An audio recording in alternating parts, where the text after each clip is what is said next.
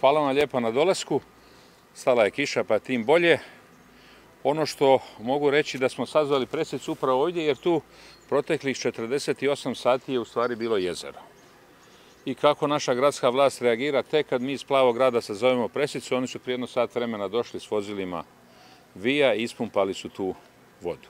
Međutim, kako je ovakvih na desetke neuralgičnih točaka u gradu Zagrebu koji ugrožavaju sigurnost građana i promet i komociju života, nama nema druge nego dnevno sazivati barem jedno deset presica, time ćemo gnjaviti i vas, a onda će Tomaševićevi suradnici valjda doći na ideju da barem malo poprave situaciju. Bilo bi ovo jako satirično da nije otužno i da nije grozno, ali eto, barem smo nešto napravili da Mlinarska danas ne pliva u vodi i da roditelji i učenici osnovne škole mogu barem normalno se kretati ispred svoje škole, jer vidjeli ste i fotografije, a mi ćemo uz priopćenje za medije poslaćemo vam i taj video kako vozilo tek jutros kupi tu vodu. Mogli su to napraviti i preksinoć i raditi kontinuirano. Međutim, mi smo htjeli danas ovdje prije svega ukazati na jednu nevjerojatnu situaciju u gradu Zagrebu koja je izazvana prije svega nesposobnošću aktualne gradske uprave, a pogotovo onog segmenta u, u Zagrebačkom holdingu koji se zovu Zagrebačke ceste. Znači, trenutno na nekoliko desetaka mjesta u gradu Zagrebu Zagrebačke ceste trebaju izvesti asfaltiranje, odnosno trebali su u proteklih nekoliko mjeseci. Radi se o asfaltiranju zatrpanih kanala ili dijelova cesta i oni to jednostavno zbog svoje neorganizacije, zbog svoje nesposobnosti i nefunkcionalnosti nisu u mogućnosti. Pa ću samo navesti primjer Mlinarske ulice. Ovdje je u dužini od 650 metara. E, u srpnju, u srpnju ove godine e, zamijenjena e, plinska instalacija i radovi su bili gotovi prvog kolovoza.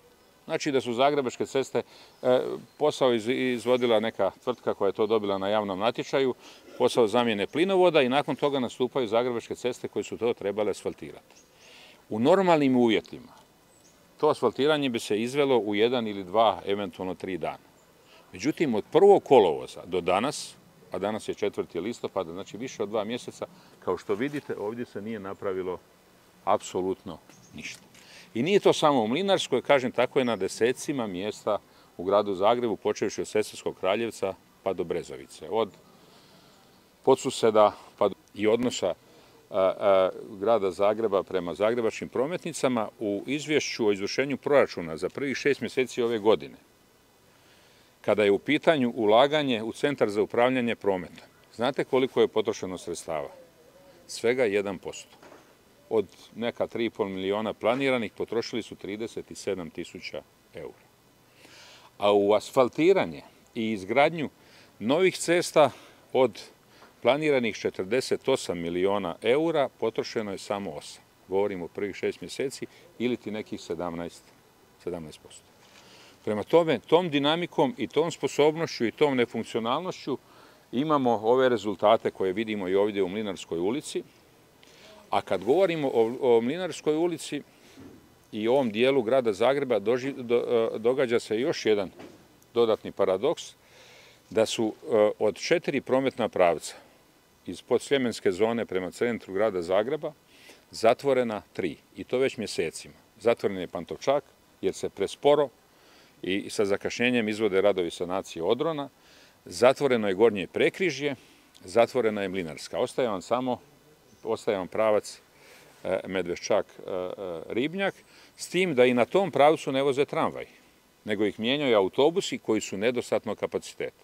Ima ih barem upola manje nego što, bi to, nego što je to potrebno. I sad, što preostaje građanima e, posljemenske zone, nego da putuje automobilima, ali umjesto 15 ili 20 minuta, oni sad putuju po dva sata u jednom pravcu i upravo sam razgovarao sa načelnikom civilne zaštite pod Sljemena koji kaže da je zaista iznimno ugrožena sigurnost i imovine, ali i sigurnost po živote građana podsljemenske zone. Jučer smo imali jednu tešku prometnu nesreću između Šestina i, Mihaljevca, gdje je e, teško stradao ona, jedan naš sugrađanin, isključivo zbog ovih gužvi u prometu i za ponedeljak u 10 sati ili u pola 10 mislim da je načelnik civilne zaštite sazvao sastanak sa svim mjerodavnima kako bi se ova situacija pokušala donekle ublažiti.